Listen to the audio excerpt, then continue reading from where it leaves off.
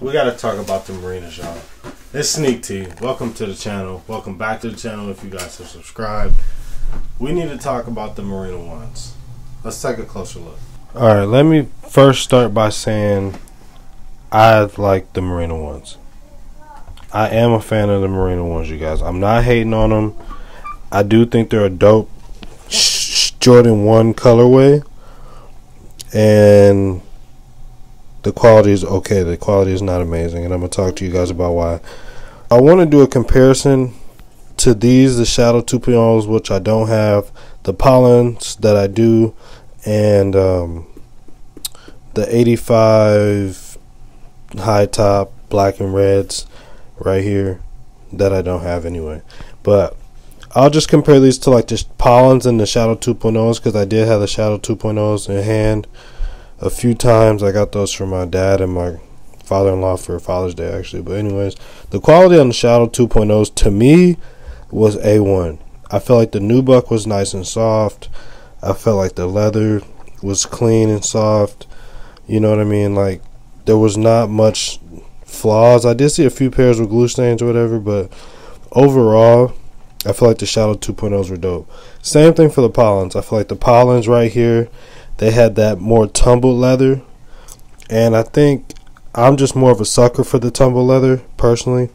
I do like this nice clean black leather too, but at the same time, I feel like the leather on the Pollens, in my opinion, was nicer. This is softer, but that tumble leather just really fit this color block, and it, I felt like it made the swoosh pop more also. So that's just my opinion and the leather on the toe is a little bit different than the pollen ones. Make sure you guys check out my video of the pollen ones um, where I did do uh, look at those so you guys can kind of refer to that video and refer back to this one. But yeah, and another thing I noticed you guys with these Marina Blues, and I noticed this even when like Z Sneakerheads and like uh, Chris Cullen, or sorry if I messed up your name, but they do the early early pairs and like they were showing early pairs of the marinas and they were like super creased up. Like this you, you can see the left side is creased up a little bit and these are ds so that's kind of a bummer you know like the quality control. Like this should have kind of been a b grade in my opinion. Like yeah they should have been a b grade. So i did a trade for these if you guys are wondering. I traded some yeezy mx rocks worn once. Uh, so let me know what you guys think of that trade. Who made a better trade? Anyways, but yeah, these are clean though. I do like how they did the tag on the tongue, the white on the blue, the blue laces. You see, I went with. They got the black and the white laces, which I do have. I just prefer the blue. So, but yeah, let me know what you guys think of the Marinas.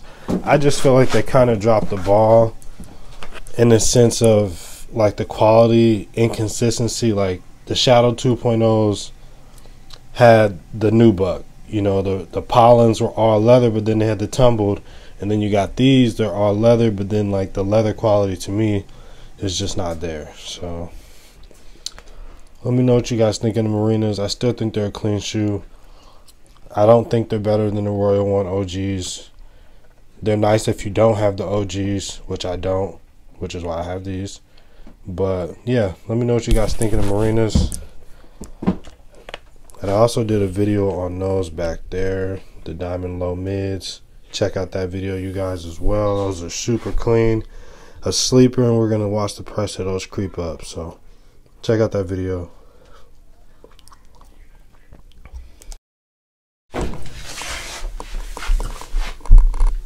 So yeah, I'm not hating on the Marina Blues. Like I said, I like the shoe. I was actually really looking forward to the shoe dropping, and I wasn't able to cop for retail. I didn't hit on no sites, man, which is a bummer sometimes. With the SNKRS app, I expected. I think we all expect to take an L on the SNKRS app, and if you take a dub, it's just like, yo, that's what's up. But on the flex though, where I stay, I stay in Minnesota, and I have like uh, 598,000 flex points, so just shy 600,000. And I was cooking, y'all. Like I was hitting. Like I hit on. I'm gonna show y'all. Uh, I hit on. Alright, buddy, I'm coming. I hit on these on Flex. I want to say Champs. I hit on these, and I hit Grade School and Tyler in these on Flex app. And I also hit on these in Grade School on the Flex. This is a men pair though. I hit these men pair on the Nike app, SNKRS app. So that was that. This was probably my most favorite SNKRS app cop for sure, y'all. For sure.